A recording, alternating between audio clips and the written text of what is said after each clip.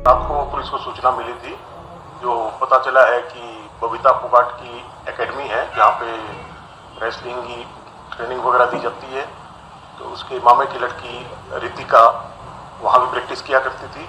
और भरतपुर झुंझुनू में junior championship हुई थी, जिसमें वो एक पॉइंट से पिछड़ गई थी और सेकंड पोजीशन आई थी।